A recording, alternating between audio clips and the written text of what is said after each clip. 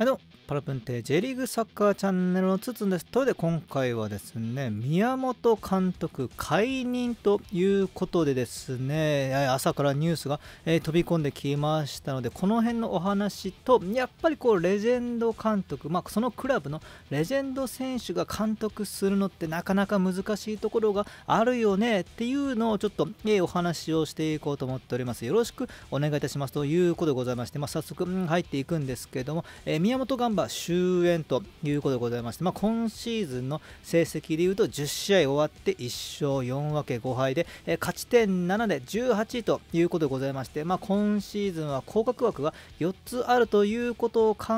えると、まあ、今のうちに立て直しておかないといけない。これから ACL もある。んでさらに言うと、まあ、ゲーム数は少ないんですけどもこう成績と試合内容と、まあ、比べた結果やっぱり解任といいますかこれ解任なんですかね、そもそも。なんかね、あの公式サイトを見ると、監督交代っていうですね、あの、んなんか最近ね、 V・ファーレン長崎、九州の方で、えー、聞いたような言葉が、入ってきたので、解任なのか辞任なのか、ちょっと、えー、なんとも言えないところであるのと、ちょっと気になるのが、まあ、宮本監督のコメントが載ってなかったのが、まあ、ちょっと怖いというか気になるところでは、えー、あるんですけども、まあ、余計な、えー、ね、詮索はやめとこうということでございまして、まあ、動画戻るんですけども、何にせよですね、ガンバ大阪、ここまで確かに、えー、調調子は出ていないんですよね。調子は出ていないんですけども、やっぱりこう、ちょっとね、気の毒な、まあ、監督ね気、気の毒だなっていうのは、えー、ちょっと難しい表現になるかもしれませんけれども、本当、若手の台頭が最近、本当、特に見られてきました。黒川選手、奥野選手、やっぱり昨年まで、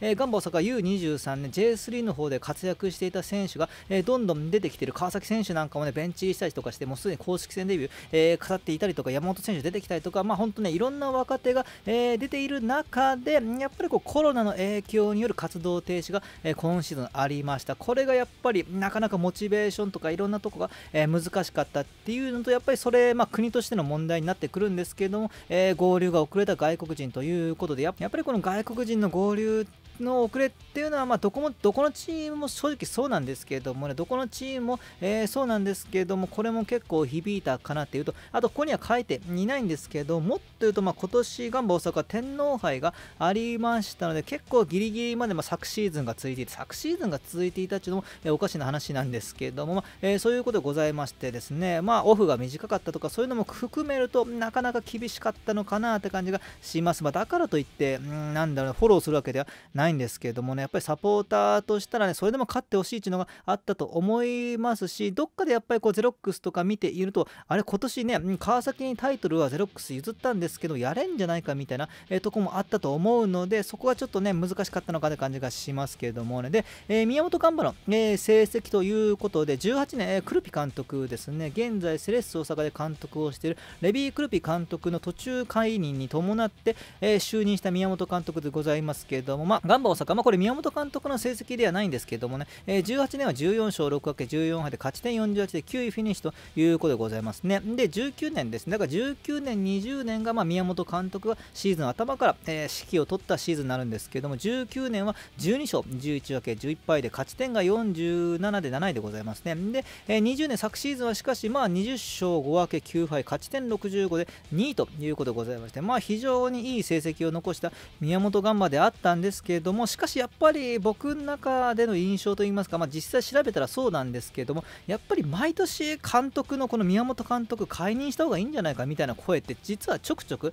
まあネット上の声なんで、どこまで本気で言ってるかわかんないんですけども、しかしまあやっぱりこう、宮本ガンバの僕の印象って、めちゃくちゃ勝ち続けたいとか、めちゃくちゃ負けなしの時期が続いていた、その反面、しかしまあ勝てない時はやっぱり1ヶ月ぐらい勝てなかったりとか、そういうのがあって、非常に波がね、多いチームだったのかなっていう印象でございますね。だからまあ、えそれでね、難しかったのが、やっぱりこの成績じゃね、ちょっとガンバ厳しいんじゃないかって思い始めたら、そこから連勝し始めて、ね、そのままシーズン終わったりとかして、そこがやっぱりね、この解任というか、監督の評価の難しいとこかなって思います。本当ね、まあ、過去の成績全シーズン、えー、宮本監督就任してから見たんですけど、やっぱここね、めちゃくちゃ勝ってんじゃんっていう時期がある反面、あれ、ここ実は1ヶ月半ぐらい勝ててなくないみたいなシーズンがあったりとかしてそれがね、まあ、ここ2年ぐらい続いていたので、ね、そこちょっと評価が難しいっていうのがあったと思います。でやっぱりレジェンド監督の難しさということになってくるんですけどもこれジュビロ磐田の、まあ、七海監督とかも、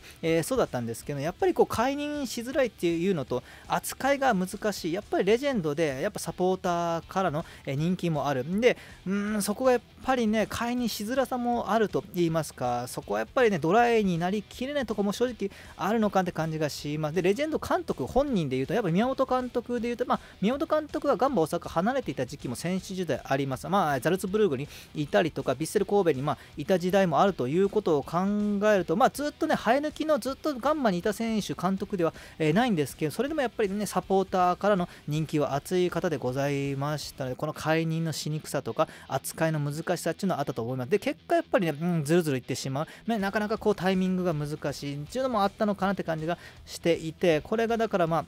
まあ、日本だけでは多分ないと思うんですけれどもね、やっぱりレジェンド監督、人気があるゆえに解任しづらい。で、監督自身も、いやこれからね、まあ、新しいとこ、例えば僕やっぱり宮本監督、ガンバ大阪以外で指揮を取る姿ってあんまりイメージが湧かないんですよね。だからそういう意味では、監督、宮本監督の、まあ、前監督になっちゃうんですけど、再就職先とかいろいろ考えるとなかなか選手自身、まあ、そこレジェンドになった選手自身も難しいということで、やっぱりね、これがね、まあ、レジェンドでね、そのチームをされるとか、引退できるっていうのはいいことであるんですけど、その後のキャリアっていうことを考えるとなかなか、えー、難しさもある。で、クラブ自体もちょっとそこ結構、だから、ギャンブルじゃないけどもね、やっぱりこう、あ人気のあるね、そのクラブでレジェンド級の活躍をした選手を監督にすると、こういう難しさがあるっていうのがやっぱりね、難しいなって、僕は特に日本人のこう感性的にはそこが、えー、難しいのかって感じがしていて、まあね、僕は宮本監監督は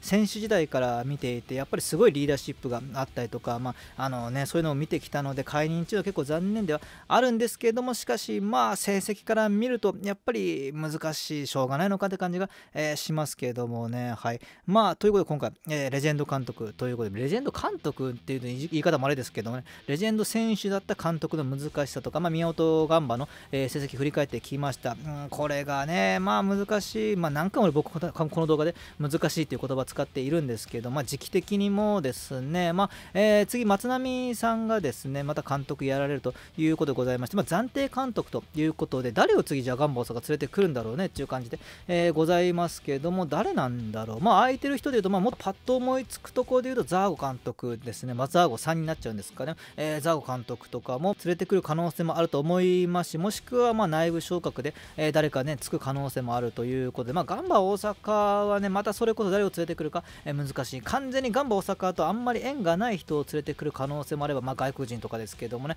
それとまた、えー、まあ、ガンバ大阪で結構名の知れた活躍した、え、選手が入ってくるかもしれませんけども何にせよですね、まあ、シーズン途中での、え、交代そしてここから ACL があるということで非常に難しいとこでバトンタッチなのがちょっとね、うん、次期監督からしたらそれもちょっとね難しい対応になると、え思いますが、まあ、オリンピックの中断期間があるのでこのオリンピックの中断期間で、まあ、オリンピックのこの中断期間で今のチームを立て直す時間もまああるっていうのと補強もまああると思いますのでそこがさ、えー、どういう動かガンバーサが注目でございますけれどもね。はい。えーと以上になりますね。まあちょっと悲しいニュースであるんですけどもこれがガンバーサが僕はねなあの裏との、えー、レビュー動画プレビュー動画プレビュー動画でも、えー、話したんですけどやっぱりんガンバが僕は一番ね倒しがいがあると言いますかガンバが一番僕は、えー、この敵にして勝ちたい相手って僕は個人的には思っておりますので本当もう一回ガンバ大阪と浦和レッズがですね優勝争いをするようなシーズンが来ることを僕は本当に本当に願っていますので、もう一回、えー、上に来てほしいと、上に来ててまあ、浦和レッズがもっと上に行けようという話かも、えー、知れないんですけれども、まあ、本当、ね、ガンバ大阪と浦和レッズが僕はもう一回優勝争いするような、